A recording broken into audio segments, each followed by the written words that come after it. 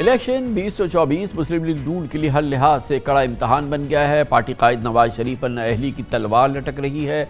लग रहा है शहबाज शरीफ इंतज़ार में हैं, क्योंकि मौका मिल सकता है और इकतदार दूसरी बार उनके हाथ आ सकता है। शायद मुमकिन कौमी हुकूमत में नून लीग के शेयर का ताहाल हिसाब लग रहा है। अगर नून लीग को इकतदार मिलता है तो मरीम नवाज़ के लिए हुकूमती अहदा क्या होगा? ये मामला भी हल तलब है। इन सब मामला से बढ़कर गैर मामूली बात यह है कि शरीफ ख़ानदान के बाद अब पार्टी के अहम रहनुमा भी अपने जानशीनों के ज़रिए नून लीग में मॉरिसियत की एक नई बुनियाद रख रहे हैं, एक नए दौर का आगाज़ कर रहे हैं। जबकि हुकूमत में आने के तासर ने फसली बटेरों की कतारें लगा दी हैं। इलेक्शन से पहले लोटो और पुराने अरकान के दरमियान इंतबी टिकट्स की तकसीम पर खेचातानी जारी है। गोया नून लीग में सब अच्छा नहीं है, बल्कि अंदर ही अंदर कई खिचड़ियाँ पक रही हैं। वैसे तो नून लीग में मोरसी सियासत का अंसर हमेशा गालिब रहा है नवाज़ शरीफ और शहबाज शरीफ तीन बार बैक वक्त वजी अजम और वजी अला पंजाब रह चुके हैं। शहबाज शरीफ और हमजा शहबाज बैक वक्त वजी अजम और वजी अला पंजाब रह चुके हैं, जबकि इससे पहले कौमी असम्बली और पंजाब असम्बली में एक वक्त में अपोजिशन लीडर भी रह चुके हैं। अब इस सूरत हाल की वजह से एहसन इकबाल, राना सलाउल्ला चौधरी तनवीर, हनीफ अब्बासी, दानियाल अज़ीज़ समेत दीगर रहनुमाओं ने भी अपने वारिसों को सियासी मैदान में उतारने की तैयारी कर ली है। पंजाब के मुताद अजला में लीगी रहनुमाओं की अपने बेटों, बेटियों और रिश्तेदारों को पार्टी टिकट दिलाने की हलचल शिद्दत इख्तियार कर चुकी है, जबकि टिकट्स न मिलने के आसार पर बाज़ रहनुमा नाराज़गी का खुल के इजहार कर रहे हैं। यकीन पी टी आई के हाथ पाँव बदने से नून लीगी उम्मीदें बहुत ज़्यादा बढ़ गई हैं। इकतदार की फ़जा बनने के आसार सामने आते ही नून लीगी रहनुमाओं में ढींगा मश्ती का भी आगाज़ है। मखसूस नशस्तों के लिए खवतिन कारकुनों के बजाय चंद मखसूस घरानों की खवतिन को नामजद किए जाने की इतलात पर इख्तलाफी आवाज़ें उठ रही हैं। ख़ास तौर पर इलेक्टेबल्स को खुश आमदेद कहने पर देरीना रहनुमाओं और मुखलिस कारकुनों ने एतराज़ा के अम्बाल लगाए हैं। पार्टी से राह जुदा करने की आवाज़ें आना भी शुरू हो गई हैं, लेकिन न जाने कौन सी मजबूरी है कि नून लीग इलेक्टेबल्स को साथ में लाने पर मजबूर है। जिन लोगों को कभी लोटे, भगौड़े और फसली बटेरे कहा जाता था, अब उनको गले लगाया जा रहा है। सिर्फ़ चंद साल पहले तक लोटों के हवाले से नून लीग की तजीक आमेज सोच और दावों में ज़मीन आसमान का फ़र्क आ चुका है। आपको इसकी एक झलक दिखाते हैं। दिलचस्प बात है कि माजी में नून लीगी रहनुमा जिन मुबैना लोटों से नफरत करते थे, तोहन, आमेज अलकाबात से बाजते थे, अब उन्हीं को इलेक्टेबल्स कहना शुरू कर दिया है। हैरा हूँ दिल को रो के पीटू जिगर को मैं। गालिब के शेर का ये मिसरा, अब नून लीग पंजाब के सदर राना सनाउल्ला की वजाहत पर पूरा उतरता है, जिनका कहना है कि इलेक्टेबल्स होना कोई गाली नहीं है, बल्कि इलेक्टेबल वो होता है जिसको लोग एतबाद करके वोट देते हैं। पाकिस्तान मुस्लिम लीग नून के दरमियान अंदरूनी कशमकश, टिकट्स के मामले पे खेचतानी इन तमाम उमूर की मजीद तफसीत हमें देंगे। लाहौर में हमारे साथ हमारे नुमाइंदे खसूसी हसन रज़ा मौजूद हैं। बहुत बहुत शुक्रिया हसन रज़ा। बताइएगा कि कितनी सीरियस है इस वक्त मुस्लिम लीग नून में तकसीम, अभी टिकट्स बट रहे हैं। इस हवाले से जनूबी पंजाब की क्या कैफियत है, ये सेंट्रल पंजाब की क्या कैफियत है? और इस वक्त जो है, ये कितनी एक सीरियस मामला है और ये तकसीम कितनी सीरियस है? काना साहब, गो के मुस्लिम लीग नून ये दावा करती है कि मुस्लिम लीग नून में तमाम मामला शफाफ और मेरिट पर जो है वो देखे जा रहे हैं किसी किस्म की कोई ग्रुपिंग नहीं है आ, कोई इख्तलाफा नहीं चल रहे। लेकिन दूसरी जानब जब मुस्लिम लीग नून के सीनियर रहनुमाओं से ऑफ़ द रिकॉर्ड जब बातचीत की जाती है और जो ज़मीनी हक़ को देखा जाता है तो ऐसे लगता है कि मुस्लिम लीग नून में सब अच्छा नहीं है और इख्लाफा ज़ोर पकड़ते जा रहे हैं ग्रुपिंग मौजूद है आ, और ख़ास तौर पर जो टिकटों का मामला है ये काफ़ी पचीदा जो है वो आ, मसला बनता चला जा रहा है। अगर देखा जाए तो मामला तीन चार बड़े इंपॉर्टेंट मामला है। नंबर वन के जो बोर्ड बनाया गया था, जिन्होंने टिकटों से मुतलिक फ़ैसला करना है, उसमें कुछ ऐसे शख्सियात जिस तरह बशीर मेमन है, उसको भी शामिल किया गया है। सबक वफाकी वज़ीर साहिबा एक हैं, उनको भी शामिल किया गया है। इसी तरह कुछ और अफराद हैं, उनको भी शामिल किया गया, जिन्होंने कभी ग्राउंड पर जाकर इलेक्शन नहीं लड़ा, जो हल्के की सियासत से इतना जो है वो ताल्लुक नहीं रखते। उन पर कई तहफात हैं। और फिर जब दूसरा मामला आता है कि अगली नस्ल को सियासत मुंतकिल करने के हवाले से इसमें भी काफ़ी सारे इख्तलाफात पाए जाते हैं। अगर देखा जाए तो चंद एक मैं आपके सामने रखता हूँ, जिसमें एहसन इकबाल और दानियाल अज़ीज़ के जो है वो बड़ा मामला खुलकर सामने आ गया। फिर राना सनाउल्ला अपने दामाद जो है वो राना शहरयार को लाना चाहते हैं। फिर इसी तरह राना सनाउल्ला और आबिद शेर अली के दरमियान इख्तलाफात भरपूर चलते चले जा रहे थे। वो भी किसी अज़ीज़ को लाना चाहते हैं। नवाज़ साहब ने बुला के मामला हल कराने की कोशिश की। फिर चौधरी तनवीर सैफुलमलूक खोकर जो सैफुलमलूक खोकर लाहौर के सदर हैं, वो अपने बेटे फैसल मुलूक खोकर को जो है वो लाना चाहते हैं। फैसल खोकर को फिर इसी तरह मुल्तान से राना फैमिली है। लाहौर से शेख रोहेल असगर अपने खुरम रोहेल असगर को लाना चाहते हैं। फिर इसी तरह अगर आएँ तो ख्वाजा आसफ अपनी भांजी और दीगर रिश्तेदारों को लाना चाहते हैं इस तरह के मामला सामने आ रहे हैं। फिर कसूर से शेख ख़ानदान है तारर ख़ानदान है, लगारी ख़ानदान है अनुषा रहमान जो है वो ख़ुद जो है एम एन ए की टिकट लेने की ख्वाहिशमंद है। फिर इसी तरह सानिया आशिक जो कि सेक्रेटरी रह चुकी हैं, मरियम नवाज़ शरीफ साहिबा की अभी भी हैं और सबक एम पी ए भी रह चुकी हैं, वो अपनी अजीज़ा को जो है वो मखसूस नशस्तों पर लाना चाहती हैं। इसी तरह बेशुमार मामला हैं और बलोचिस्तान के सदर जाफिर जो हैं मंदोखेल वो अपने दामाद के लिए कोशिश करते दिखाई दे रहे हैं। फिर इसी तरह दीगर मामला हैं जो पार्टी के अंदर जो ऐसे मम्बरान जो मुस्लिम लीग नून के रहनमा है जिन्होंने मुश्किल तो हालात में मुस्लिम लीग जब मुस्लिम लीग नून पर तो चलती है। नवाज़ शरीफ साहब के ख़ानदान की एक ही ख़ानदान है जिसकी कि मुस्लिम लीग नून पर मुकम्मल हुक्मरानी है। उस, उनके कितने, वो कितनी इस मामले में मुतहद है कि किसको टिकट मिलना चाहिए या किसको नहीं मिलना चाहिए, क्योंकि ये पाँच लोग हैं जो कि कलीदी लोग हैं, नवाज़ शरीफ साहब, शहबाज शरीफ साहब, हमजा शहबाज मरीम नवाज़ इसाक डार। ये क्या मुतहद हैं या इनके भी अपने अपने पसंदीदा और गैर पसंदीदा लोग हैं? कवा साहब, इसमें जो है वो डिवीज़न तो पाई जाती है, क्योंकि जब अगर देखा जाए तो कुछ सीटें मरियम नवाज़ शरीफ साहब चाहती हैं कि किस कैंडिडेट को मिले? आ, कुछ सीटें जो हैं वो शहबाज शरीफ साहब चाहते हैं। जिस तरह शहबाज शरीफ साहब के साथ आ, जो है बलाल कयानी काम करें वो कहते हैं उनको एम एन ए की सीट मिले। आ, इसी तरह ग्रुपिंग तो मौजूद है जो एग्जिस्ट करती है वो चाहते हैं कि फ़लाँ फ़लाँ के बच्चों को अजीज़ों को रिश्तेदारों को मिले। लेकिन अगर देखा जाए तो यहाँ पर नवाज़ शरीफ साहब कहते हैं कि फैसले तो मैं सारे लूँगा इसलिए कोई ग्रुपिंग नहीं पाई जाती। और लगता यह है कि जब टिकटों के हवाले से जब डिवीजनल सतह पर इन्होंने कमेटियाँ तश्कील दी गई वहाँ पर जब एक हल्के से तीन चार सीटें सामने आई एप्लीकेशन सामने आई तो वो उस तमाम को नज़रअंदाज कर दिया गया। हसन रजा हमारे साथ मौजूद थे लाहौर से कमर्शियल ब्रेक उसके बाद मज़ीद इस पर बात करेंगे और क्या एंड में क्या होगा अंजाम क्या होगा पाकिस्तान मुस्लिम लीग नून को इसकी कितनी कीमत अदा करनी पड़ेगी या नहीं करनी पड़ेगी ये तमाम गुफ्तु हमसे करेंगे। जनाब मुजीबरहमान शामी एक छोटे से वक्फे के बाद। आठ फरवरी बीस सौ चौबीस के इलेक्शन से पहले पाकिस्तान मुस्लिम लीग नून में टिकट्स के लिए खींचातानी मूर्सी सियासत का एक नए दौर का आगाज़, फसली बटेरों और दरीना कारकुनान के दरमियान एक कशमकश। इस पर जनाब नवाज़ शरीफ किस तरह से काबू पाएँगे, इसका अंदाज़ा लगाएँगे और इसके लिए हमें ज्वाइन कर रहे हैं पाकिस्तान के मुमताज़ तरीन, सीनियर तरीन, सहाफ़ियों में से एक, न्यूज़ एनालिस्ट, एडिटर, जनाब मुजीबर रहमान शामी हमारे साथ हैं। बड़ी नवाजी शामी साहब, आपने हमें ज्वाइन किया है। ये फरमाइएगा कि इस वक्त नवाज़ शरीफ साहब के लिए एक चैलेंज ये है कि अब उनको टिकट्स तकसीम करने हैं टिकट्स तकसीम हो रहे हैं। मगर इस वक्त कैफियत ये है कि उनके पास एक फसली बटेरों की बड़ी लंबी लाइन लगी है। एक जानब उनके देरीना लीडरशिप है, कारकुनान है, जो कि सारी ज़िंदगी उनके साथ रहे हैं। और बहरहाल अब इलेक्शन की भी बात है, दूसरी जानब ये फसली बटेरे हैं, जिनको वो पहले लोटे भी कहते रहे हैं। उनके ख़िलाफ़ उन्होंने बड़ी कैंपेन भी की है। मगर माहौल में जो जो इस वक्त सूरत हाल लग रही है उस पर यह भी लग रहा है कि बड़ी पैमाने पर जो मुस्लिम लीग नून के जो देरीना लोग हैं, उनमें एक तरह की बदली है और वो इस बात से परेशान हैं कि लोटे जो हैं, वो एक बार फिर जनाब नवाज़ शरीफ की तरजीह बन गए हैं। कामरान खान साहब, बहुत शुक्रिया। देखें, जो पाकिस्तानी सियासत है उसकी बाज़ हकीकतें हैं। और एक बड़ी हकीकत यह है कि यहाँ एक बड़ी कई कॉन्स्टिट्यूंसीज़ में ऐसे लोग मौजूद हैं जो अपना एक वोट बैंक रखते हैं। वो बरदरी का कहें, कबीले का कहें, असर रसूख का कहें, शख्सियत का कहें, उनको हम इलेक्टेबल्स कहते हैं। और जब उनके वोट पार्टी के वोट से मिलते हैं तो फिर जीत जो है मुमकिन होती है। तो हर इलेक्शन के मौके पर यह सवाल पैदा हो जाता है कि ये इलेक्टेबल्स जो हैं, उनको किस तरह एकोमोडेट किया जाए और जो कारकुन है, सियासी कारकुन, वफादार कारकुन, पुराने कारकुन, उनके और इनके दरमियान तोज़ुन कैसे बरकरार रखा जाए। शहरी हलकों में तो ये काम नस्बता आसान है, लेकिन दही हलकों में ज़रा मुश्किल दरपेश होती है।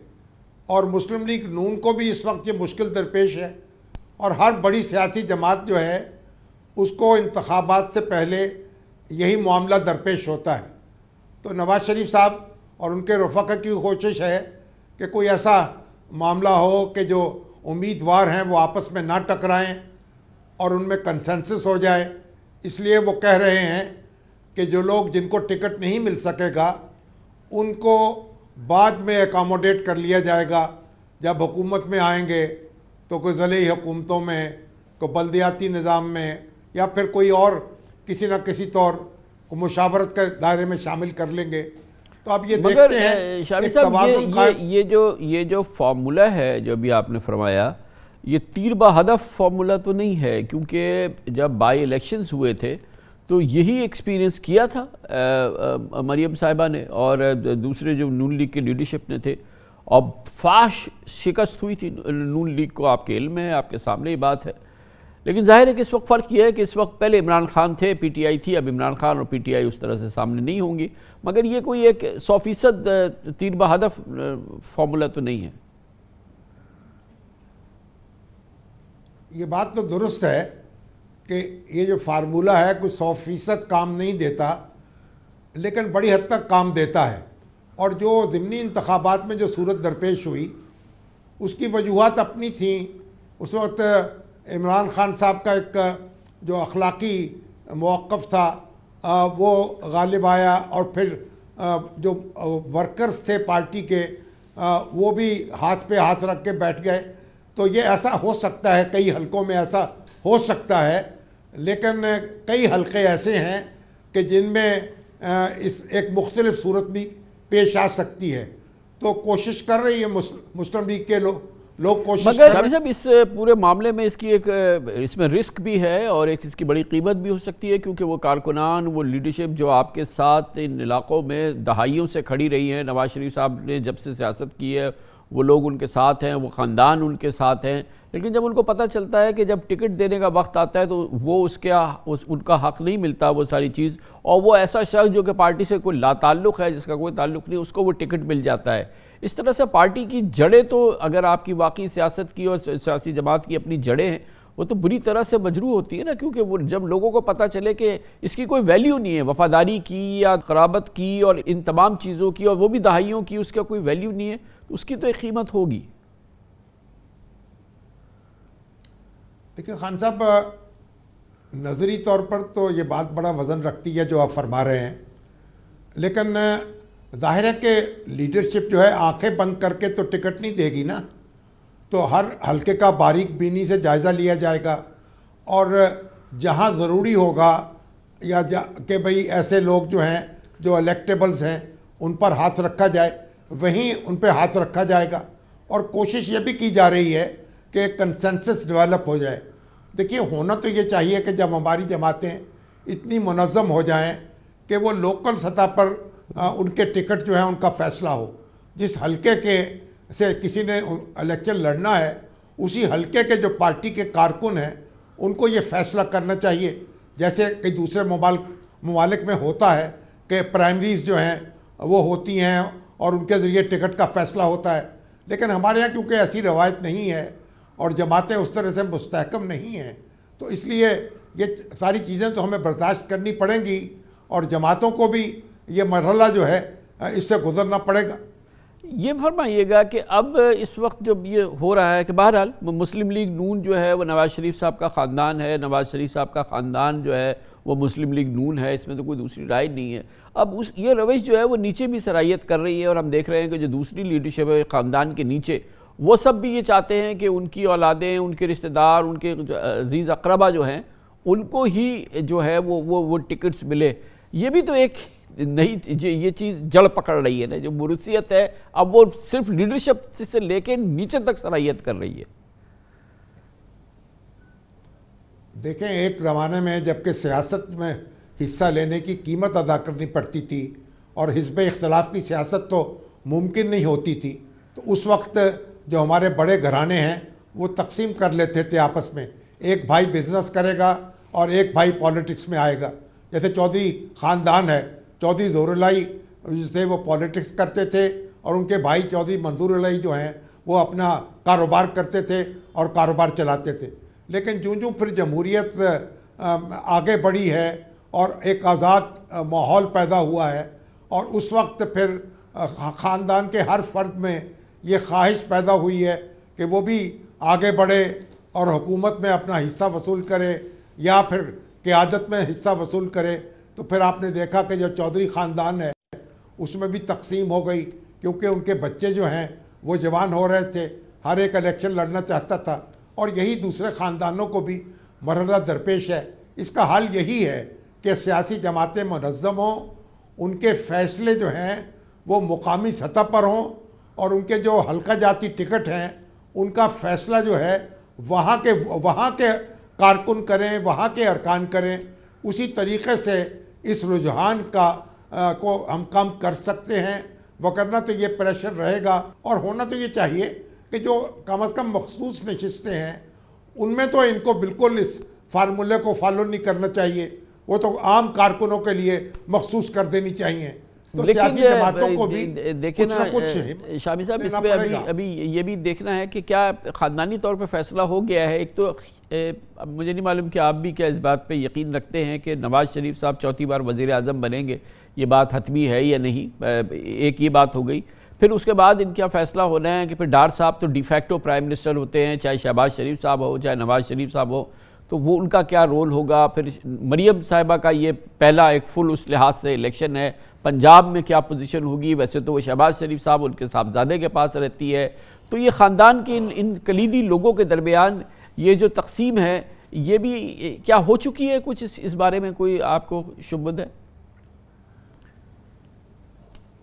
देखें, ये तकसीम तो नहीं हुई, लेकिन जो नवाज़ शरीफ साहब हैं, उनका कहा जो है, इस वक्त तक तो हरफ आखिर है। वो जिसको चाहेंगे और जहाँ चाहेंगे, वो बिठा देंगे। और अगर वजारत उज़मा उनके पास ना भी हुई तो फिर भी उनका एक कलीदी किरदार तो होगा। तो मेरा ख्याल है कि इस वक्त ये सब सवाल जो आपने उठाए हैं, ये अहमियत तो रखते हैं, लेकिन वक्त ही इनका जवाब दे सकेगा। और ये इम्तिहान भी है एक मुस्लिम लीग नून को इस इम्तहान से गुजरना पड़ेगा। उसको अपने ऊपर एक एक यानी फैमिली पार्टी का लेबल तो चस्पा नहीं करना चाहिए। और इकतदार जो है उसको वसी तर तकसीम करना पड़ेगा अपने कारकुनों में और अपने साथियों में। तो ये तो नहीं हो सकेगा कि आप उसे महदूद कर लें और मखसूस कर लें और उसके बाद जो आपकी सपोर्ट जो है, वो बेकरा हो जाए। बड़ी नवाजिश, बहुत बहुत शुक्रिया, मोहतरम मुजीबर रहमान भी हमारे साथ मौजूद थे। कमर्शियल ब्रेक इस दौरान न्यूज़ हेडलाइंस देखे, जिसके बाद हम अपने प्रोग्राम के बाकी के साथ वापस आते हैं।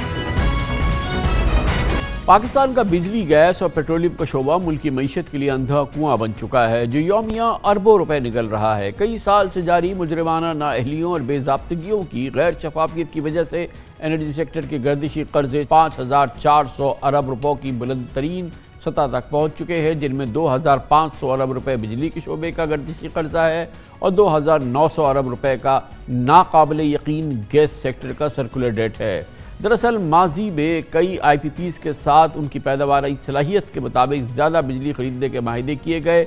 अब उनसे बिजली ली जाए या ना ली जाए, मगर कैपेसिटी पेमेंट हमें देनी होती है और बिल्कुल इसी तरह कई बरसों तक कुदरती गैस या एल एन जी और एल पी जी महँगे दामों खरीद कर आवाम को सस्ते दामों में फ़रोख्त होती रही, जिसकी वजह से गैस सेक्टर में भी सर्कुलर डेट का पहाड़ खड़ा हो चुका है। अब निगरा हुकूमत की सर तोड़ कोशिशें हैं। निगरा हुकूमत ने बिजली चोरी के खिलाफ मुलगीर मुहिम का आगाज़ किया है। बिजली और गैस की हकीकी लागत के मुताबिक टैरिफ में इजाफा किया है। बिजली तकसीम करने वाली सरकारी डिस्कोस को सूबों के हवाले करने का मनसूबा बनाया गया। डिस्कोस की निजकारी का भी फैसला किया गया, लेकिन इगरा हुकूमत को कोई ब्रेक थ्रू नहीं मिल रहा है। इस वक्त गैस और बिजली के पैदावार, उनकी तरसील और बिलों की वसूली का निज़ाम नाअहल सरकारी ब्यूरोसी की वजह से तहस नहस हो गया है, जबकि गैस कंपनीज़ का यू एफ़ जी यानी कि जो, गैस ज़ाया हो जाती है, उसका खसारा भी कम होने का नाम नहीं ले रहा। हालिया दिनों में नेपरा की रिपोर्ट जारी हुई है, जिसके बाद बोगस बिलिंग में मुलविस बिजली की तकसीम कार कंपनियाँ रंगे हाथों पकड़ी गई हैं। नेपरा की तहकीकात के मुताबिक डिस्कोज ने सिर्फ़ जुलाई और अगस्त में मुल्क भर के डेढ़ करोड़ से जायद सार्फिन को बिजली के जायद बिलों के ज़रिए अरबों रुपयों का चूना लगाया। नेपरा ने इस गड़बड़ घोटाले को तहकीकत के लिए एक कमेटी भी तश्कील दी है, लेकिन कोई माने ना या ना माने ये हकीकत है कि बिजली के शोबे में बिजली के बहरान की सबसे बड़ी जिम्मेदार खुद नेपरा ही है। क्योंकि पाकिस्तान का पावर सेक्टर आज जिस तबाही के भंवर में फंसा हुआ है, ये महज चंद दिनों, या बरसों की कहानी नहीं, बल्कि कई दहाइयों से जारी पॉलिसी का नतीजा है। वर्ल्ड बैंक की एक रिपोर्ट के मुताबिक पाकिस्तान में बिजली खरीदारी के माहदे इंतहाई महँगे किए गए हैं, जिनकी वजह से पाकिस्तान में बिजली पैदावारी लागत खत्े में औसतन पैंतालीस फ़ीसद ज़्यादा है। अहम बात यह भी है कि गर्दिशी कर्जों का चवालीस फ़ीसद हिस्सा डिस्कोस की नाहली की वजह से है। यूएस एड के मुताबिक बिजली की तकसीम कार कंपनी के टेक्निकल और कमर्शियल नुकसान ग्यारह फ़ीसद से ज़्यादा नहीं होने चाहिए। लेकिन पाकिस्तान में डिस्कोज और की औसतन लाइन लॉसेज उन्नीस फ़ीसद से जायद हैं, जिनमें पेशावर की पेस्को सखर की सेस्को सैंतीस फ़ीसद तक लाइन लॉसेज हैं। हम सब जानते हैं कि मुल्क की का पच्चीस फ़ीसद से जायद हिस्सा पेट्रोलियम मसनूआत पर खर्च हो रहा है। साल ब साल हमारे तेल और गैस के मकामी ज़खायर सिमट रहे हैं और बदकस्मती से मुल्क में तेल और गैस ज़खायर दरियाफ्त करने का अमल इंतहाई सुसरवी का शिकार है। तेल के ज़खायर से बीस फ़ीसद बाकी रह गए हैं।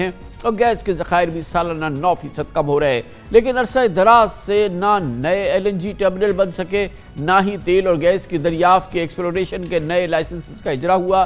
चार माह कबल हुकूमत ने सिंध पंजाब और बलूचिस्तान के दस ब्लॉक्स में तेल की तलाश के लिए बिड जारी की, लेकिन सिर्फ़ छः ब्लॉक्स पर मकामी कंपनियों ने दिलचस्पी का इजहार किया। इंटरनेशनल इन्वेस्टर्स ने, इंटरनेशनल कंपनीज़ ने पाकिस्तान के सेक्टर में इन्वेस्टमेंट से गुरेज किया है। इसी वजह से हम ये समझते हैं कि पूरा शोबा पाकिस्तान की मीशत का अंधा कुआ है और अगर पाकिस्तान ने इस शोबे पे इस, इसके ज़रिए जो पाकिस्तान के ख़जाने को मुल्क की मीशत को जो नुकसान हो रहा है इस पर काबू ना पाया गया तो ये पाकिस्तान के लिए मीशत के लिए नाकबिल तलाफ़ी नुकसान जारी रहेगा। इस पूरे मौजू पर बात करने के लिए हमने दावत दी है। हमारे साथ मौजूद है जनाब मोहम्मद अली निगरान विफाकी वज़ीर energy, power and petroleum Islamabad से हमारे साथ हैं। बहुत बहुत शुक्रिया अमली साहब, आपने हमें ज्वाइन किया है। बहुत शुक्रिया। ये पहले बताइए कि इस वक्त का जो आपके जो कंज्यूमर्स हैं बिजली के, उनका सबसे बड़ा इसमें जो सोर्स ऑफ़ कंसर्न है, वो जो कल नेपरा की रिपोर्ट आई, जिसमें पता गया, पता चला कि डिस्कोस ने जो है बहुत ही एक्सेसिव बिलिंग की है और लोगों को ज़ाहिर है कि इसका बेपना नुकसान हुआ है। करोड़ों कंज्यूमर जो है वो इससे मुतासर हुए हैं ये नंबर वन इशू है। इस इस हवाले से आ, आप आप क्या कहेंगे? जी शुक्रिया Kamran sahab for calling me to ये प्रोग्राम देखिए पहली बात तो ये कि जो रिपोर्ट बनाई है नेपरा ने वो जुलाई और अगस्त के माह में बनाई है। तो मैं जुलाई अगस्त के माह में हमारी गवर्नमेंट तो नहीं थी हमारी गवर्नमेंट तो सत्रह अगस्त को ओत लिया है। तो मैं कोई ऐसी चीज़ वैसे भी नहीं कहता कि जिसमें कोई अननेसेसरी को डिफेंड करना हो। लेकिन मैं पहले आपको क्लियर कर दूँ कि ये बात बिल्कुल वजह है कि हमारा पावर सेक्टर इस वक्त काफ़ी तकालीफ में है। पाकिस्तान में बिजली महँगी है, चोरी ज़्यादा है। लेकिन ये जो रिपोर्ट आई है, इसमें किसी को चूना नहीं लगाया गया। कोई रंगे हाथों नहीं पकड़ा गया। और मैं आपको अगले पाँच मिनट में इंशाल्लाह बता दूँगा इसकी डिटेल ये बड़ी अनफॉर्चुनेट बात है कि रिपोर्ट जिस तरीके से लिखी गई है और जिस तरीके से पब्लिश की गई है विदाउट कंसल्टेशन और जिस टीम ने बनाई है, जिनको तजुर्बा ही नहीं है इस चीज़ का, और बहुत ही गलत तरीके से रिपोर्ट बनाई गई है। तो मैं आपको थोड़ा सा एक्सप्लेन कर दूँ कि पाकिस्तान में जो बिलिंग साइकिल होता है और जो बिल्स बनते हैं, वो कैसे बनते हैं, बहुत ज़रूरी समझने के लिए। उसके बगैर ये पूरा मामला आई थिंक क्लियर नहीं होगा। जो बिल्स इशू होते हैं, जो बिल्स की रीडिंग ली जाती है, वो जो हमारे इलाके में लोग होते हैं, वो हर दिन मीटर्स की रीडिंग ले रहे होते हैं। बिकॉज़ पाकिस्तान में जो मीटर्स हैं, वो ऑटोमेटेड तो है नहीं। और अगर एक ही दिन तमाम मीटर्स की बिलिंग लेनी होगी तो फिर हमें बहुत सारे लोग चाहिए होंगे। इसलिए हर दिन जो लोग होते हैं, वो कुछ मोहल्लों में जाके मीटर की रीडिंग लेते हैं। तो जिस दिन, जिस घर में, जिस घर को मीटर बिल इशू होता है, हर माह उसी तारीख को इशू होगा। फॉर एग्जांपल अगर किसी घर की मीटर रीडिंग 28 तारीख को होती है तो हर माह की 28 तारीख को होगी। किसी की अगर 5 तारीख को होती है तो हर माह की 5 तारीख को होगी। तो इसी तरीके से हर बंदा जो है हर एम्प्लॉय हमारा जो है वो पूरा माह बिज़ी रहता है। और अगर हम ये चाहते हैं और, और ये यूनिफॉर्म तो पॉलिसी है पूरे पाकिस्तान में इसका इतलाक होता है पूरे पाकिस्तान में हर कंपनी ऐसी ही करती पूरे पाकिस्तान बिल्कुल इसी वजह है कमरान भाई कि अगर हर रोज बिलिंग नहीं होगी और एक ही दिन बिलिंग करनी होगी अगर 22 वर्किंग डेज़ हैं इन अ मंथ तो आपको 22 गुना स्टाफ चाहिए अगर एक ही दिन सारे घरों में रीडिंग लेनी है। तो इसलिए जो आपके घर में जिस तारीख को बिल आएगा और अगर कुरंगी में या मलिर में या बहादुराबाद में जो बिल आएगा हर मोहल्ले में अलग अलग तारीख को बिल आता है बिकॉज़ हर मोहल्ले में लोग अलग अलग एक ही बंदा अलग एवरी डे वो मीटर रीडिंग ले रहा होता है। तो, तो, तो मीटर रीडिंग हर दिन ली जाती है। अब जो समझने वाली बात है, जुलाई के महीने में अगर किसी का 28 जून के महीने में अगर किसी का 28 तारीख को रीडिंग हुई है तो जुलाई में भी उसकी 28 तारीख को ही रीडिंग होगी, क्योंकि 30 दिन हो जाएँगे। अब फ़र्स्ट करें कि 28 तारीख को हफ़्ता आ गया, छुट्टी आ गई तो फिर वो दो दिन बाद रीडिंग लेगा तो वो 30 दिन नहीं, बत्तीस से तैंतीस दिन हो जाएँगे। 28 जुलाई को जुम्मे का दिन था, उस दिन आशुरे की छुट्टी थी, हफ़्ता इतवार भी छुट्टी थी। तो अगर किसी घर का बिल 28 तारीख को बना है तो फिर वो एक पूरे 30 दिन की रीडिंग नहीं होगी, वो 32 से 33 दिन की रीडिंग होगी। दूसरी बात, जुलाई के माह में पाँच वीकेंड्स थे, पाँच सैटरडे संडे थे। तीसरी बात, अगस्त के अंदर 14 अगस्त को मंडे का दिन था तो अगर जिसकी रीडिंग अगर 12 जुलाई को हुई है तो उसकी फिर 12 अगस्त को नहीं हुई होगी, उसकी 15 अगस्त को ही होगी। तो ये कोई पहली बार नहीं हुआ। जो ये रिपोर्ट बनी है ये कोई पाकिस्तान में कोई नई चीज़ नहीं हो रही है। पिछले 10, 20, 40 बरसों से यही सिस्टम चल रहा है। इसी बात हम सबको मालूम है कि ऐसे बिलिंग साइकिल होती है। बत्तीस तैंतीस चौंतीस दिन लग जाते हैं कुछ घरों में। अब जो नेपरा के जो नंबर्स हैं रिपोर्ट में मैं आपको बता दूँ उन नंबर्स में बहुत सारी गलतियाँ हैं और इनशाला मंडे को हमारी पावर सेक्टर पावर मिनिस्ट्री की वेबसाइट पे जो पूरी रिपोर्ट है तमाम डिस्कोर्स के कमेंट्स अवेलेबल होंगे। मंडे को इनशाला वीकेंड पर ही हो जाएँगे। मैक्सिमम मंडे को तमाम डिस्कोर्स के पूरे कमेंट्स अवेलेबल होंगे। क्योंकि ये रिपोर्ट बनी है इसका सारा डेटा डिस्कोर्स नहीं दिया है।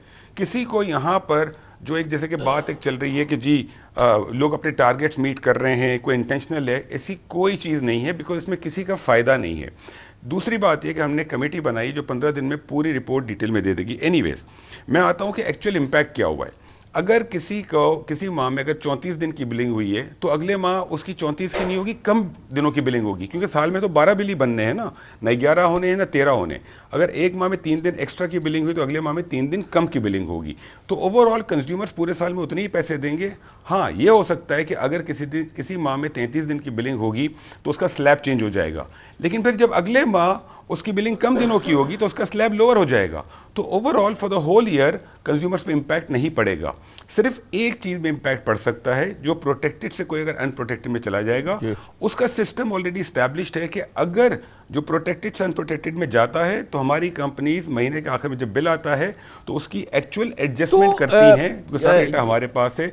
मेरे पास ये बताइए मिनिस्टर साहब कि ये ये ये जो चीज़ हुई है आपको पता है कि पूरे मुल्क के लिए एक सेंसेशन था ये कि पूरे मुल्क के लिए वो थी और based on based on NEPRA report NEPRA report की लैंग्वेज आप देखें उसके अंदर जो सारी बात है वो उसको आप देखें उसके बाद डिस्कोर्स ने ये इन, ये इनपुट्स जो हैं वो डिस्कोस से आई हैं नेपरा ने किया है। तो ये पूरा सिस्टम जो है ये इस इसको पता नहीं था कि ये क्या कर रहा है ये किस तरह की रिपोर्टिंग कर रहा है इससे कितना सेंसेशन क्रिएट होगा इससे क्या पूरी चीज़ होगी। और नेपरा को तो इन मामलों में बहुत ही एहतियात से काम लेना चाहिए क्योंकि पाकिस्तान का जो बिजली का बहरान है उसकी अगर एक इदारा जिम्मेदार है तो वो नेपरा है। ये बिल्कुल बजा फरमा रहे हैं हमने नेपरा से बात भी की है। ये अगर हमसे पहले डिस्कस कर लेते हैं डिस्कोस से डिस्कस कर लेते हैं तो सारी चीज़ें क्लियर हो जाती। अब मैं आपको एग्जांपल देता हूँ एक इसमें पूरा टेबल बना हुआ है जिसमें लिखा हुआ है कि एक करोड़ कंज्यूमर्स को फ़र्क पड़ गया। एक करोड़। और ये हर टीवी पे हर अखबार में आ रहा है एक करोड़।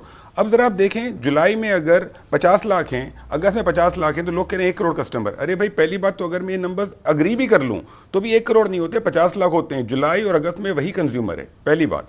दूसरी बात, जो एक्चुअल नंबर ऑफ़ कंज्यूमर मेरे पास डेटा है, पिछले दो दिन से हम इसी के ऊपर काम कर रहे हैं टोटल कंज्यूमर जो अफेक्ट हुए हैं ना टोटल जिन पे कोई भी इम्पैक्ट आया जो स्लैब चेंज हुआ है, वो आठ लाख इकहत्तर हज़ार हैं जुलाई में और साढ़े आठ लाख हैं अगस्त में। उसमें से भी जो स्लैब चेंजेस हैं और लाइफ लाइन वाले हैं, वो तो मैंने आपको समझाया कि उनके ऊपर ओवर द ईयर कोई इंपैक्ट नहीं आता। जो प्रोटेक्टेड से अनप्रोटेक्टेड में होते हैं, वो भी हम एडजस्ट करते हैं, लेकिन उनका नंबर मैं आपको बता देता हूँ। जुलाई में है दो लाख और अगस्त में एक लाख तेरह हज़ार। पाकिस्तान में टोटल जो कंज्यूमर्स हैं, कई को निकाल के, वो साढ़े तीन करोड़ कंज्यूमर हैं। साढ़े तीन करोड़ में से अगर दो लाख को इम्पैक्ट पड़ा तो ये लेस देन वन परसेंट है, और अगर एक लाख तेरह हज़ार को पड़ा, ये भी लेस देन वन परसेंट इसको भी हम एडजस्ट कर देते हैं। तो किसी कंज्यूमर को कोई एक्सेस बिलिंग नहीं हुई है, और इस रिपोर्ट में जो कुछ भी है, इसको हम पूरा इंक्वायर करेंगे। हम नेपरा से मिलेंगे और इस टाइप की चीज़ें इंशाल्लाह फ्यूचर में नहीं होंगी। लेकिन चलें, एक तरीके से एक चीज़ सामने आई है तो इसमें जो भी इंप्रूवमेंट होगी वो हम करेंगे, लेकिन इसमें डिस्कोर्स का मिनिस्ट्री का कोई इसके अंदर फॉल्ट नहीं है और ये बिल्कुल सिस्टम सही चल रहा है। This report should not have been publish the way it has been publish आप तो देखें ना, इसकी सोर्स जो है वो तो नेपरा है ना, और ये नेपरा जो है, बजाय इसके कि आप उसको अकाउंटेबल करें, पूरी कौम के सामने वो अकाउंटेबल हो, वो फर्दर सेंसेशन क्रिएट करते हैं, ये ये, या शायद ये चीप पब्लिसिटी के लिए या अपने ऊपर जो जो, उन पर जो ज़िम्मेदारी है उसको आगे बढ़ाने के लिए इस किस्म के इकदाम होते हैं? क्योंकि देखें ना मोहम्मद साहब, कि असल मसला ये है पाकिस्तानियों के लिए कि ये दुनिया की सबसे महँगी बिजली खरीद रहे हैं। ये बेचारे वो बिजली खरीद रहे हैं जो कि कोई सह ही नहीं सकता। ना इंडिविजुअल खरीद, सह सकता है, ना कंपनी खरीद, सह सकती है, ना इंडस्ट्री सह सकती है। इसका क्या इलाज निकलेगा? कैसे इसका हल होगा? क्योंकि बहरहाल पाकिस्तान तो आगे बढ़ ही नहीं सकता इस टैरिफ पे जो कि इस वक्त हमारे पास है। आप बिल्कुल वजह फरमा रहे हैं कमरान भाई। ये हमारे मुल्क में जो बिजली है, वो बहुत महँगी है। इससे कोई दो राय नहीं है इसके अंदर।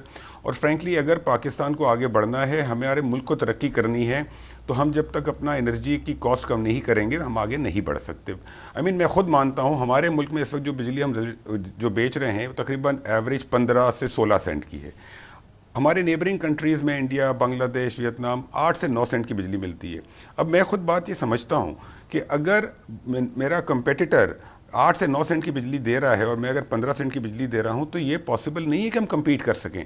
और जब तक पाकिस्तान में इंडस्ट्री नहीं लगेगी एक्सपोर्ट नहीं होगी, उस वक्त तक एम्प्लॉयमेंट क्रिएट नहीं होगी, लोगों को रोज़गार मुहैया नहीं होगा इनकम नहीं बढ़ेगी हमारी। ये बातें बिल्कुल बजाएँ। लेकिन कामरान भाई, ये पिछले कोई पंद्रह बीस साल की गलत पॉलिसीज़ की बिना पर आपको पता है, हमने प्लांट्स लगा लिए एनर्जी मिक्स हमारा गलत है कैपेसिटी पेमेंट हमें पे करनी पड़ती हैं, चोरी वगैरह के मसले। अब देखें, अगर हम चाहते हैं कि इस मुल्क में बिजली की कीमत कम हो, इसमें हमें चार पाँच चीज़ें करनी पड़ेंगी। पहली बात जो कि जो चोरी होती है और पैसे नहीं आते, वो हमें करने हैं, जो कि हम ऑलरेडी कर रहे हैं। Just to share with you हमने पिछले दो ढाई माह में जो कैंपेन चलाई है जब से केयरटेकर गवर्नमेंट आई है तकरीबन बावन बिलियन रुपए का फ़र्क पड़ा है। बावन बिलियन अच्छा। कुछ चौंतीस हज़ार एफ़ कटी हैं। यू नो बहुत मैसिव एक्शन हो रहा है। हम लीगल चेंजेस भी कर रहे हैं। ऑलरेडी शुरू हो गई हैं। दूसरी चीज़ हमें जो करनी पड़ेगी जो सर्कुलर डेट का स्टॉक है हमारा तेईस सौ अरब का उसके ऊपर हम जो सूद दे रहे हैं उसका इम्पैक्ट आता है। उसका हल निकालना है। हम उसके ऊपर ऑलरेडी काम कर रहे हैं। इंशाल्लाह आपके साथ थोड़े दिनों में शेयर करेंगे कि क्या उसके ऊपर काम हो रहा है। तीसरी चीज़ डिस्कोर्स को हमें प्राइवेट सेक्टर के हाथ में देना होगा। उसके ऊपर थोड़ा सा हमें वक्त लग गया। हमारा टारगेट आज से दो हफ़्ते पहले समरी मूव करने का था। लेकिन चूँकि हम आईएफसी और वर्ल्ड बैंक के साथ काम कर रहे थे, पूरा उसका वर्क प्लान बना रहे थे, उसमें टाइम थोड़ा में ज़्यादा लग गया। लेकिन वो भी इंशाल्लाह अगले हफ़्ते हम मूव कर रहे हैं। चौथी चीज़, हमारा ट्रांसमिशन नेटवर्क हमें सही करना पड़ेगा। और लास्टली देखिए जो सबसे इंपॉर्टेंट चीज़ है ना, हम जब तक अपने मुल्क में बिजली की डिमांड नहीं बढ़ाएँगे पाकिस्तान में आज भी बहुत सारे लोगों के पास बिजली की अवेलेबिलिटी नहीं है। और हमें नए बिजली की जो एडिशनल डिमांड होगी वो इंडस्ट्री से आएगी और डोमेस्टिक कंज्यूमर से आएगी। तो अगर हम नई बिजली लगाते हैं अच्छी कीमत पे तभी एवरेज हमारी प्राइस नीचे आएगी। हमें तमाम चीज़ों पर काम करना पड़ेगा उसमें नेपरा का बहुत इंपॉर्टेंट रोल है। नेपरा को आने वाले वक्तों में सही पॉलिसी और सही फैसले करने पड़ेंगे। अब, अब नेपरा के अंदर देखें कुछ स्ट्रक्चरल फ्लॉज हैं। जिस तरीके से नेपरा में हमारे मेंबर्स की अपॉइंटमेंट होती है प्रोविंसेस से वो क्वेश्चनेबल है कि क्या प्रोविंसेस से होनी चाहिए या हमें एक्सपर्ट्स होनी चाहिए। इसके अलावा ओवरऑल जो हमारा जो एक गवर्नेंस सिस्टम है within the power sector जो डिफरेंट इंस्टीट्यूशन है हमें उन सबको देखना होगा। तो ये तमाम चीज़ें इंशाल्लाह आने वाले वक्तों में आई होप तो, जो हमारे ये, ये फरमाइएगा कि ये, ये आपने वो पाँच फैक्टर्स बताए जो कि अगर इस पर हम काम करेंगे तो पाकिस्तान में बिजली सस्ती हो जाएगी जो कि बुनियादी चीज़ है पाकिस्तान की। आवाम की और इंडस्ट्री की रिक्वायरमेंट उस वो आपने तफसील से उन, उनका ज़िक्र किया। तफसील का एक मामला जो कि मैं उस तेज़ी से जिन पाँच चीज़ों का आपने ज़िक्र किया जिस पर मैं फोकस करना चाहता हूँ वो है डिस्कोस की रिहेबिलिटेशन रीओरिएंटेशन के आपने कहा कि अब हमने फैसला किया है कि हम इनको प्राइवेटाइज करेंगे। कभी बीच में ये बात आई प्रोविंसेस को जाएँगे, फिर आया कि प्रोविंसेस को नहीं जाएँगे। अब आपने कहा कि ये होगा वर्ल्ड बैंक आईएफसी के साथ इस पर बातचीत हो रही है। अब ज़रा मुझे ये एक्सप्लेन कर दें, क्योंकि ये मेक और ब्रेक है इस पूरे सिस्टम के अंदर के हम डिस्कोस के साथ क्या करने जा रहे हैं। आपने कहा प्राइवेटाइज करने जा रहे हैं। थोड़ा सा इसको एक्सप्लेन कीजिए। नहीं प्राइवेटाइज नहीं। अगर मैंने वर्ड यूज़ किया हो तो मेरी गलती होगी। हम लॉन्ग टर्म कंसेशन दे रहे हैं जो मैंने पहले भी आपके प्रोग्राम में एक्सप्लेन किया था। देखिए इसमें हमें एक बड़ा क्लियर कट रोड मैप लेना होगा। प्रोविंसेस को हम ये अगर देंगे तो वही बात होगी एक हाथ एक गवर्नमेंट हाथ से दूसरे गवर्नमेंट हाथ में जाएँगे। देखिए प्राइवेटाइजेशन का कमरान भाई इस वक्त जो है ना बहुत इशूज़ आएँगे। प्राइवेटाइजेशन हमने बहुत चीज़ों का बरसों से सुन रहे हैं। आप भी सुन रहे हैं मैं भी सुन रहा हूँ। ये होंगी नहीं प्राइवेटाइज इसमें बड़े लीगल मसले हैं। पीटीसी का पीटीसीएल हमने बेची थी। आज तक हम उसके जो है लैंड ट्रांसफर्स के इशूज़ हमारे सामने तो हमें, और सेकेंडली प्राइवेटाइजेशन में आपको कोई पैसे भी नहीं मिलने इसके। तो इट्स नो पॉइंट ये हमें प्राइवेट सेक्टर के हाथ में देना है। The objective is not to privatise the objective is to give the management to the private sector and incentivise the private sector ये लॉन्ग टर्म कंसेशन 20 से 25 साल के कॉन्ट्रैक्ट्स के थ्रू दुनिया में इंफ्रास्ट्रक्चर और यूटिलिटीज दी जाती हैं और यही काम हम कर रहे हैं। हम इसकी अप्रूवल इंशाल्लाह ले लेंगे इसका हम पूरा वर्क प्लान बना देंगे इस पर काम भी शुरू कर देंगे। और हमारा टारगेट है कि फ़र्स्ट स्टेज में हम दो डिस्कोस को जो है वो लॉन्ग टर्म कंसेशन पे जो है वो प्राइवेट सेक्टर के हाथ में दे दें। और दो के बाद फिर बाकी भी इंशाल्लाह आठ चली जाएँगी। तो लॉन्ग टर्म कंसेशन के तहत इनको प्राइवेट सेक्टर के हाथ में इनकी मैनेजमेंट देने का प्लान हम तो वो मुल्क है अभी आप जा रहे हैं कि हम इसको प्राइवेट सेक्टर की तरफ़ चले जाए किसी तरह से और कोई प्राइवेट सेक्टर अब ये प्राइवेटाइज तो हम कर ही नहीं सकते। बिल्कुल आप सही फरमा रहे हैं लेकिन हम तो वो लोग हैं कि हमने कई को शंघाई इलेक्ट्रिक के हवाले किया और एक दस बिलियन डॉलर की इसमें इन्वेस्टमेंट आ रही थी। हमने तो उसको एक कदम भी आगे नहीं बढ़ाया और वहीं के वही ही है जहाँ पर जहाँ पर खड़ी हुई थी। तो हम किस तरह के निज़ाम से इस वक्त दो चार है और कैसे हम इसको ठीक करेंगे? अभी तो एक नई आपने बात की कि इसको हम जो है वो एक लॉन्ग टर्म कंसेशन के थ्रू अवेलेबल करेंगे। एक नई कोशिश की जाएगी इनको ठीक करने के लिए। कैसे ये मसला हल होगा?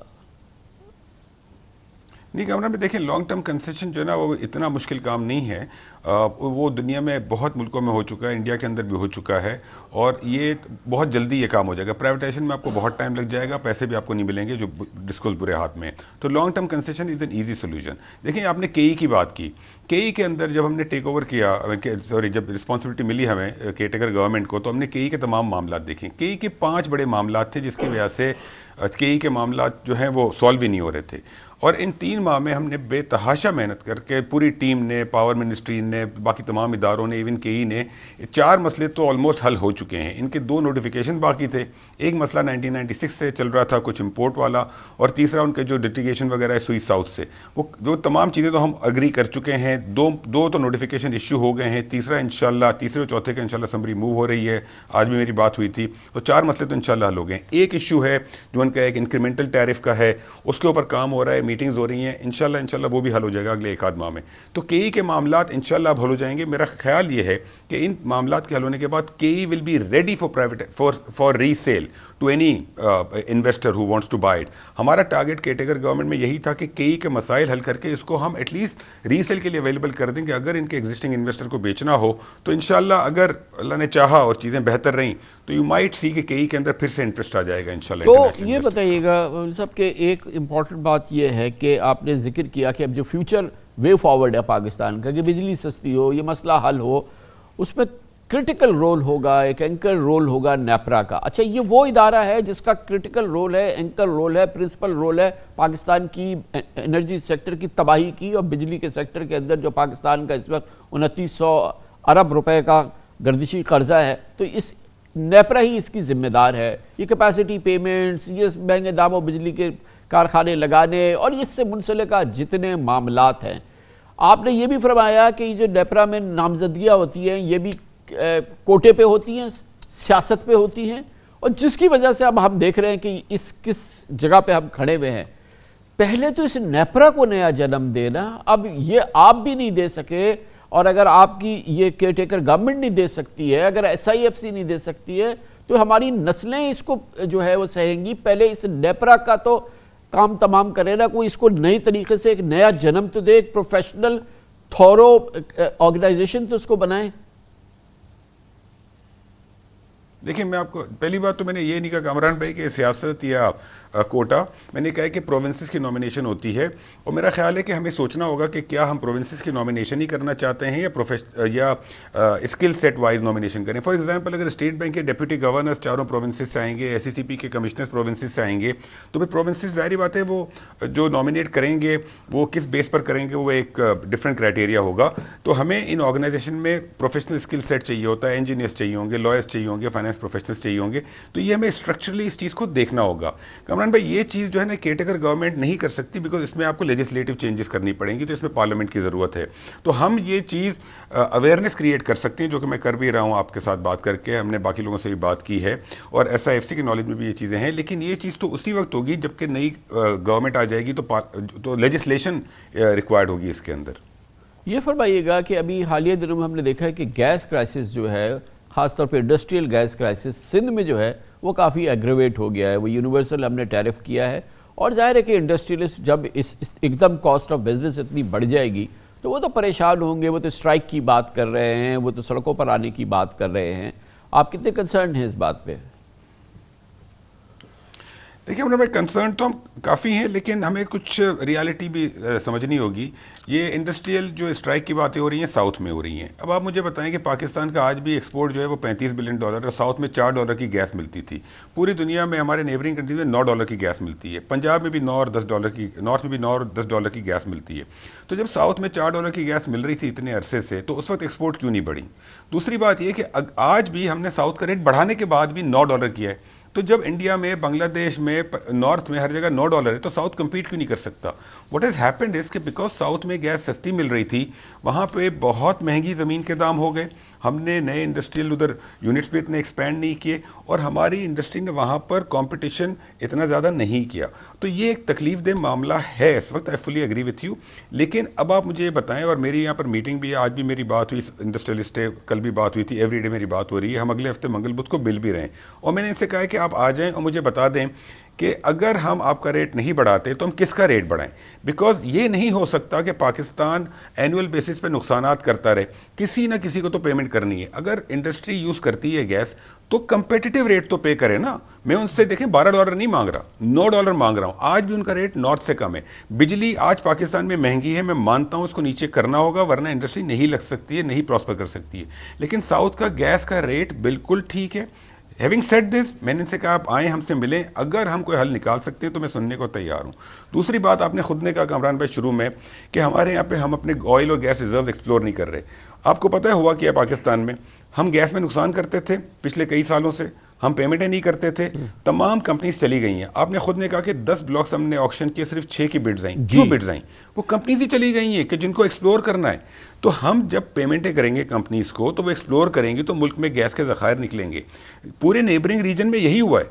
दूसरी बात यह कि मेरी जितनी ई एन पी कंपनी से बात हुई है हर कंपनी मुझे कहती है कि आप अपना अप्रूवल प्रोसीजर और ज़रा स्ट्रीमलाइन करें।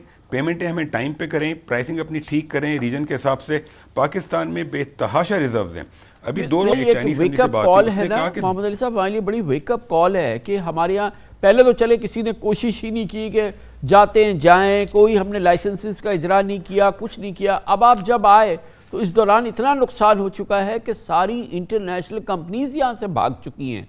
अब जैसे आपने फरमाया कि उनसे बातचीत हुई है या जो कुछ भी हुआ है पहली एफर्ट तो हमारी ये होनी चाहिए टॉप प्रायोरिटी पे कि इनको वापस लाएँ। और जो रिक्वायरमेंट है इंटरनेशनल इन्वेस्टर की इस इस फ़ील्ड के अंदर, वो हम फौरी तौर पे स्ट्रीमलाइन करें। और ये तो आप ही की ज़िम्मेदारी है। कमरान भाई, मैं आपको लाइव एग्जांपल देता हूँ। दो रोज़ पहले मेरी चाइनीज़ कंपनी से मीटिंग है दुबई में।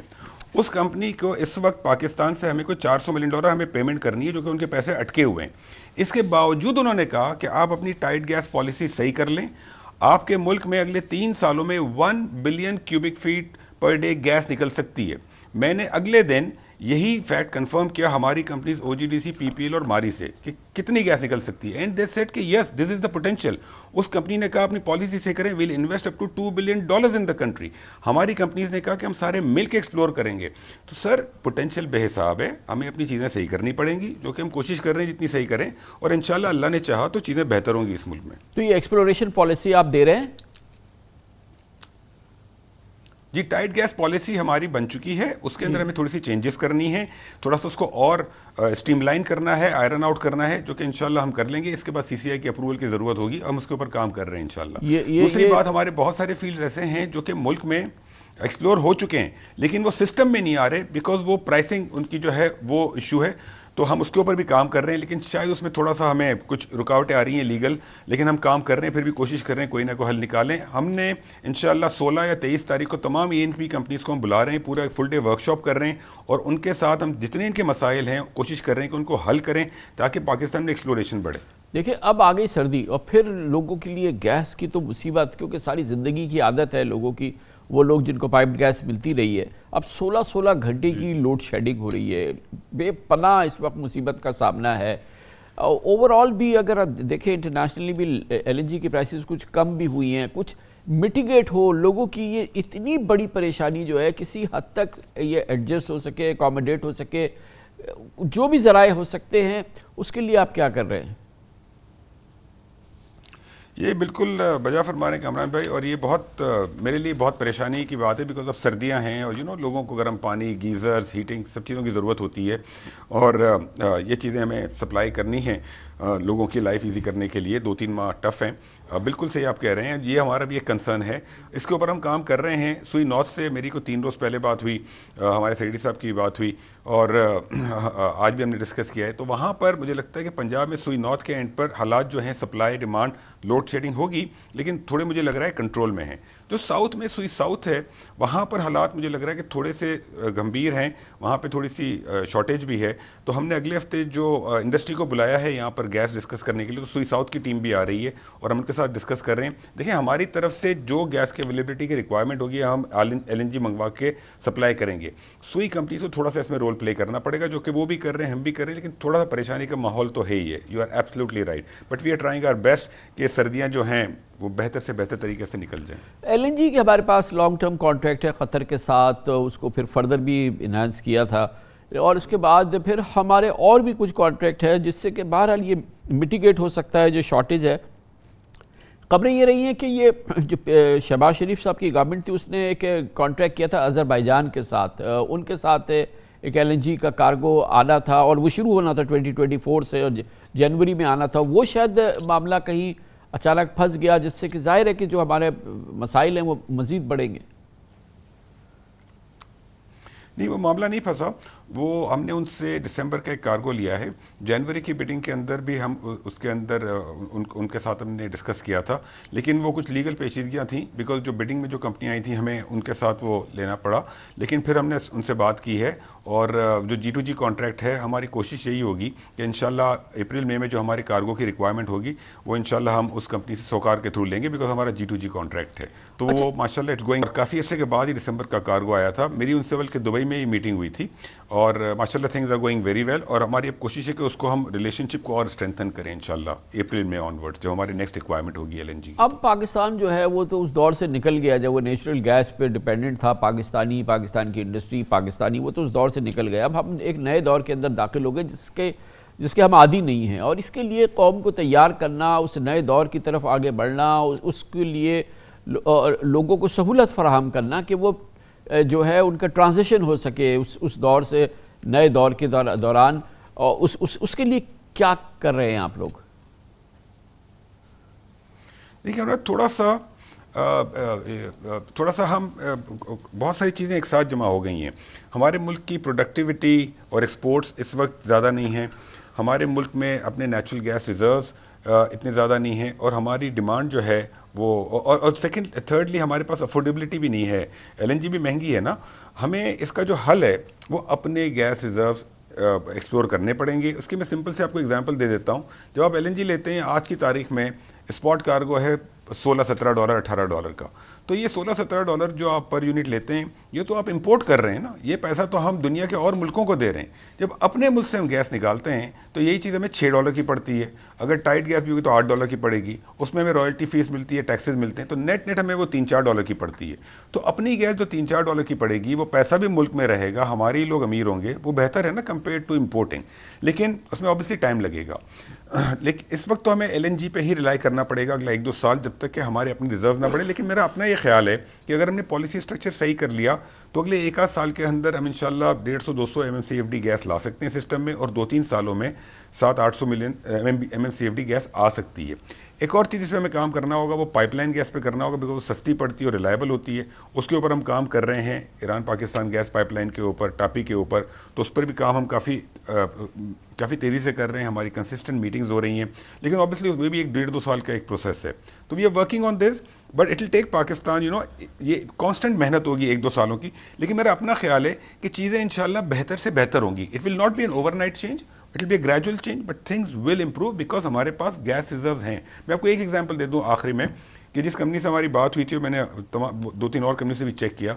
दुनिया में ई एन पी कंपनीज़ के लिए वन इज़ टू टेन का रेशियो होता है सक्सेस रेशियो यहाँ पर हमें जो इंटरनेशनल कंपनीज़ कहती हैं पाकिस्तान में thirty to forty percent success ratio है। So that is that is the strength we just need to use it तो हमें इसके ऊपर काम करना है और इन अल्लाह ने चाहा तो आहिस्ते से सिचुएशन बेहतरी की तरफ़ जाएगी। एक चीज़ इंपॉर्टेंट है जो कि ज़ाहिर है कि मेहनत भी की है। निगरान हुकूमत ने एक्सचेंज रेट के हवाले से स्मगलिंग के हवाले से पाकिस्तान की इकानमी में एक स्टेबिलिटी की जो जो एक लहर पैदा हुई है, उसका में बड़ा, एक बड़ा किरदार है। इसमें एक और ज़ाहिर है कि इसमें नसीब और तकदीर की भी बात होती है, वो भी मुनासिब रहा है, बेहतर रहा है। इस दौरान अभी हम देख रहे हैं कि इंटरनेशनल ऑयल प्राइसेस जो हैं, वो फिर घटी हैं और मतलब पहले के मुकाबले में उनमें काफ़ी बेहतरी आई है, उनमें कमी आई है और वो हम देख रहे हैं कि उसमें बहुत ही, जब से ये केयरटेकर गवर्नमेंट आई है, उससे थोड़े पहले इसके मुकाबले में ये बहुत ही सिग्निफिकेंटली ड्रॉप हो रही हैं उस लिहाज से। इसके जो फ़वाद हैं, जो इसके, जो जो इसके असरात हैं, पाकिस्तान पे जो रूनमा होने चाहिए, होंगे इन उसको थोड़ा एक्सप्लेन कीजिए ताकि कोई अच्छी अच्छी बात भी बताएँ हम लोगों को। अल्लाह ताला की ये मदद है इसमें मेरा और आपका तो कोई रोल नहीं है। जी जी जी इसमें एक्सचेंज एक्सचेंज रेट नीचे लाने में हमारी जो एजेंसीज़ हैं जो हुकूमत है तमाम इदारों का हाथ है। लेकिन इंटरनेशनल ऑयल प्राइस में तो कोई हाथ नहीं है। और ये बहुत ही माशाल्लाह एक, एक, एक अल्लाह अल्लाह ने बड़ी मदद की है कि नीचे आई है ऑयल प्राइसेस और इन अल्लाह ने थोड़ी सी और नीचे आ गई। तो मेरा अपना ख्याल है कि एक तो इन ऑयल प्राइसेस में भी कमी होगी मुल्क में जिससे इन्फ्लेशन पे ओवरऑल इम्पैक्ट होगा। अगर इन्फ्लेशन पे इम्पैक्ट होता है तो हमारे यहाँ currency interest overall purchasing standard of living इन सब चीज़ों पे इम्पैक्ट होगा। तो इन अगर ऑयल प्राइसेस यहीं पर रहें या नीचे अगर और आ जाती हैं तो I think that be very good global commodity prices का साइकिल नीचे की तरफ़ आ रहा है। तो ओवरऑल मुझे लग रहा है कि इन्फ्लेशन अगले साल इन महँगाई जो है वो काफ़ी कंट्रोल में रहेगी, अगर चीज़ें इसी तरीके से रही जैसे अभी नज़र आ रही हैं। तो हम अब, आज से एक हफ़्ते के बाद तकरीबन अब आवाम को खबर मिल सकती है खुशगवार, खुश, बहुत खुशखबरी मिल सकती है, पेट्रोल, डीजल की प्राइसेस अब कम होनी चाहिए ना अगले साइकिल में। वो कमरान भाई अभी थोड़ा सा मुश्किल है कहना कि खुश खुश खबरी मिलेगी या नहीं मिलेगी बिकॉज़ ये तो हर पंद्रह रोज़ के बाद सेट होता है। तो अगर अगले एक हफ़्ते में ग्लोबल प्राइसेस अगर बढ़ गई तो फिर तो खुशखबरी नहीं होगी लेकिन अगर यहीं पर रहीं या और नीचे आ गई तो फिर इंशाल्लाह खुशखबरी होगी। बहुत बहुत शुक्रिया बहुत शुक्रिया खुशखबरी होगी और यकीनी तौर पर क्योंकि बहुत सिग्निफिकेंटली ऑयल प्राइसेस कम हुई हैं इंटरनेशनल मार्केट पे और ये पाकिस्तान के लिए, मीशत के लिए बहुत अच्छी खबर होती है क्योंकि हम बेपना पेट्रोलियम प्रोडक्ट से इंपोर्ट करते हैं और जो हमारे लिए ख़जाने में, हमारे फॉरन एक्सचेंज रिज़र्व का सबसे बड़ा बोझ होता है।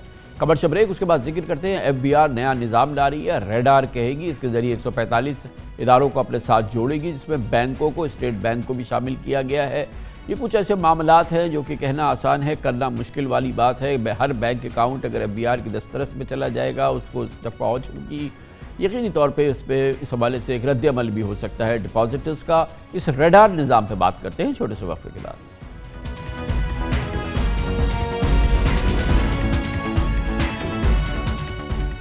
पाकिस्तान की मीशत सर उठा के चले, उसको एक नया सेहतमंद जन्म देना होगा। और इसकी पहली ज़िम्मेदारी ये होगी कि पाकिस्तान में टैक्स देने वालों की तादाद का इजाफा करना होगा और टैक्स टू जीडीपी रेशो को आईएमएफ के मुताबिक 15 फ़ीसद तक लाना पाकिस्तान की अवलिन ज़िम्मेदारी है। इसके लिए एफबीआर को एक नया जन्म देना होगा, पाकिस्तान के टैक्स निज़ाम को भी एक नया जन्म देना होगा। काविशें हो रही हैं, ख़ासतौर पर मौजूदा हुकूमत के दौरान और एस आई एफ़ सी के तहत पाकिस्तान में टैक्स के निज़ाम को शफाफ बनाना और एफ़ बी आर को कदर नॉन करप्ट करना इसके लिए भी कोशिशें हो रही हैं और इसके लिए अब इतलात हैं कि एफ़ बी आर ने नॉन फाइलर्स को टैक्स नेट में लाने के लिए बैंक समेत एक सौ पैंतालीस सरकारी और निजी इदारों को पंद्रह जनवरी तक नए रडार सिस्टम पर तमाम ट्रांजेक्शन की मालूम शेयर करने की हिदायत की है। यानी इन 145 इदारों को एफ़ बी आर से जोड़ने का मंसूबा बनाया गया है ताकि दस्तावेजी मीशत के इस हिस्से को टैक्स नेट में लाया जा सके जो इस वक्त टैक्स नेट से बाहर है। इस वक्त पाकिस्तान में से बयालीस लाख अफराद टैक्स फाइलर्स हैं। दिलचस्प बात यह है कि आर ने विफाकी और सूबाई महकमों समेत कमर्शियल बैंक्स को भी निज़ाम के साथ मुंसलिक होने की हिदायत की है। बज़ाहिर हुकूमत की जानब से ये एक संजीदा और अहसन कदम मालूम होता है, मगर खदशा है कि इस मनसूबे पर पूरी तरह अमल दरामद नहीं हो सकेगा। रेड आर सिस्टम एक आई टी प्लेटफॉर्म है, जो एफ़ बी आर और इदारों के माबेन रियल टाइम में मालूम शेयर करने के लिए डिज़ाइन किया जा रहा है।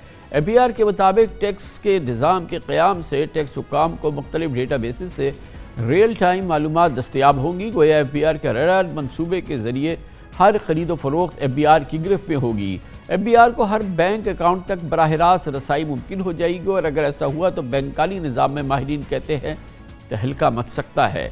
टैक्स ऑफ़िस की जानब से ब्लैक मेलिंग का एक ना रुकने वाला सिलसिला भी शुरू हो सकता है। अगर ये तमाम मालूम की रसाई एक आम एफ़ बी आर के अहलकार के पास होगी यकीन जो एफ़ बी आर की जो इस वक्त पहचान है, जो एफ़ बी आर के फ़ील्ड के ऑफ़िस की पहचान है, उसके बाद अंदाज़ा ही लगाया जा सकता है कि इसके क्या असरात होंगे।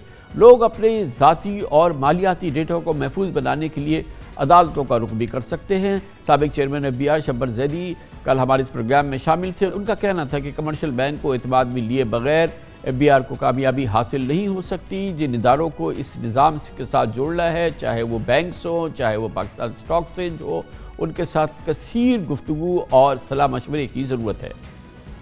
मजीद मालूम हासिल करते हैं। इन सवालों के जवाब ढूँढने की कोशिश करते हैं। हमें ज्वाइन कर रहे हैं लाहौर से डॉक्टर इकरामुल हक। बहुत ही मुमताज़ माहिर हैं। टैक्स समूर के बहुत बहुत शुक्रिया डॉक्टर साहब आपने हमें ज्वाइन किया है। ये रेडार का निज़ाम आपने देखा आपके सामने भी है। क्या आपका तजुर्बा कहता है कि क्या मेनुअन इस पर अमल हो सकता है? ज़ाहिर है कि ये कहना और ये तमाम बातें बज़ाहिर तो बड़ी आसान लग रही हैं। एक, एक सांस में कह दिया गया कि 145 इदारों को जोड़ दिया जाएगा एफ़ बी आर के साथ और एफ़ बी आर की मुकम्मल दस्तरस हो जाएगी। डूबल है ये। शुक्रिया कामरान खान साहब। देखिए इसमें कुछ तो कानूनी पहलू हैं और कुछ तकनीकी पहलू हैं। कानूनी पहलू ये है कि पाकिस्तान में अभी तक डेटा प्रोटेक्शन का कोई एक्ट नहीं है।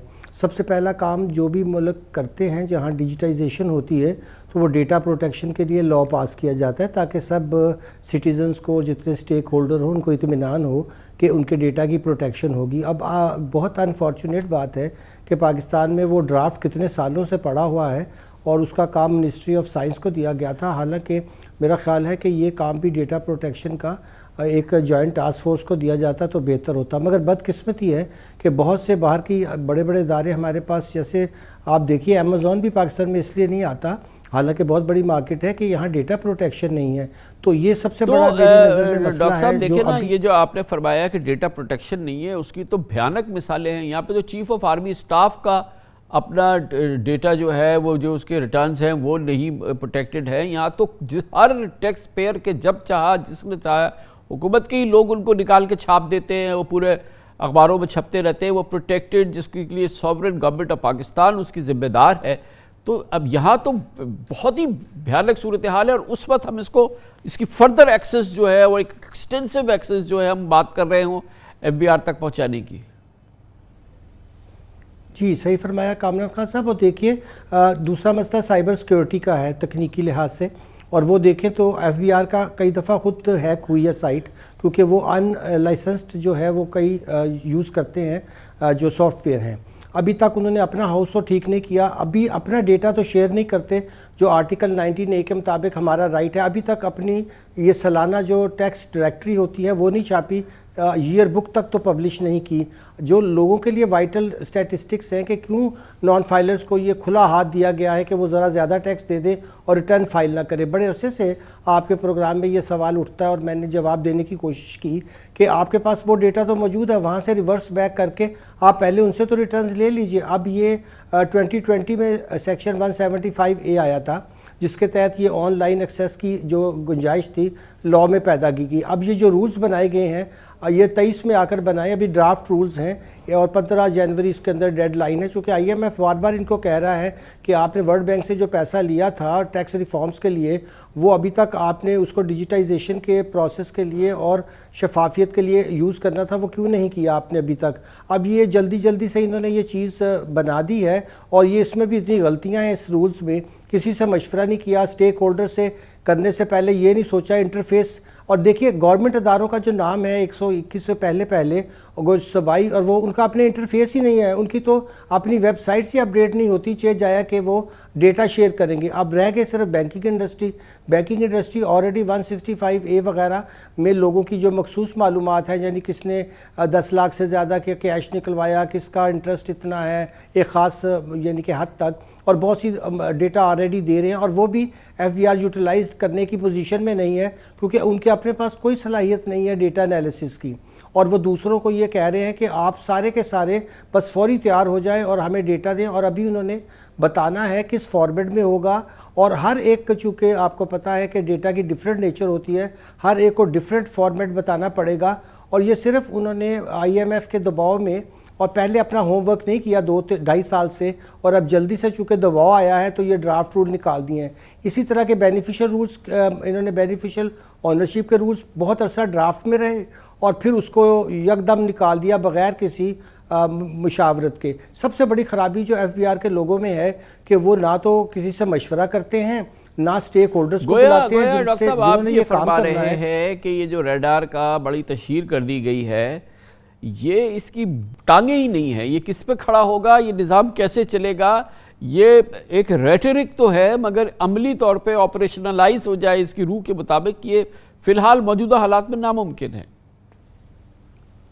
जी, बिल्कुल, क्योंकि ना तकनीकी अतबार से एफ़ बी आर ख़ुद इतना अभी वेल वर्स्ड है इन चीज़ों में, ना उन्होंने उस लेवल की अपनी जो है वो कंप्यूटर आईटी की सलाहियत पैदा की है, ना उन अदारों ने। गवर्नमेंट के महकमों के तो इतनी बुरे हालात हैं ई गवर्नमेंट के नाम पर इतने फंड्स लिए, इन्होंने इतना पैसा बाहर से लिया, अंदर से भी जो बजट प्रूव हुए, मगर मजाल है कि उन्होंने कुछ किया हो। अगर ये एफ़ बी आर ने अवेलेबल डेटा एनालिसिस के लिए ही डेटा साइंटिस्ट लिए होते तो आज हम कम अज़ कम भी, मैं अर्ज़ करता हूँ कि जो मोबाइल यूज़र्स हैं उसमें से 120 मिलियन जो ब्रॉडबैंड यूज़र हैं उनका तो बायोमेट्रिक डेटा है। उनमें से एक अच्छी जो ज़ाहिर है जो बड़ी खर्च कर रहे हैं उन अमाउंट्स पे उनको तो हम अपने टैक्स के दायरे में ला सकते थे ना उनसे तो रिटर्न ले सकते थे। अब टैक्स तो उन सबका कट रहा है मगर उनमें रिटर्न जो है वो दो फ़ीसद लोग भी फ़ाइल नहीं करते हैं। मगर ये देखा ना आपने डॉक्टर साहब के खुद एफ़ के तकरीबन एक तिहाई से ज़्यादा लोग जो है वो फाइलर ही नहीं, जिस इदारे के अपने लोग जो है वो एक तिहाई फाइलर नहीं है। वो इदारा क्या दुनिया से किसी से फाइलर किसी को बनाएगा? जी, बिल्कुल सही फरमाया आपने। ये अपना हाउस इन ऑर्डर करते नहीं हैं और इस तरह की चीज़ें जो हैं वो गैर सोचे समझे सिर्फ़ वो अखबार में कुछ दिन आती हैं और फिर पता चलता है। अभी मैं अर्ज़ कर रहा था कि इस लॉ की भी आप संजीदगी का अंदाज़ा लगाएँ कि ये 2020 में फिनेंस एक्ट से आया था। और इसके अलावा एक नादरा का अलहदा से भी है, वो भी आज तक इन्होंने जो है उसको इम्प्लीमेंट नहीं किया। बस एक लॉ बना देते हैं, फिर उसके ऊपर जब दबाव आता है, एक रूल्स इशू कर देते हैं और तैयारी बिल्कुल ज़ीरो इनकी होती है। और आपने बिल्कुल सही फरमाया, इनके तो अपने लोग रिटर्न नहीं फ़ाइल करते। बड़ी नवाजिश डॉक्टर इकराम हक हमारे साथ मौजूद थे। टैक्स अमूर के मुमताज़ माहिर कॉलमनिस्ट इसके साथ ही हमारे आज के प्रोग्राम का अख्ताम होता है। कल आपसे फिर मुलाकात होगी इन कल तक के इमरान खान को इजाज़त। अल्लाह हाफिज़ से।